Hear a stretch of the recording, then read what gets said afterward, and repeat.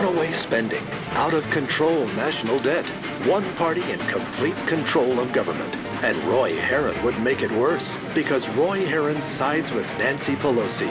On health care, Herron and Pelosi say they will oppose repeal of Obamacare. Obama's law means more taxes, more spending, more expensive health care.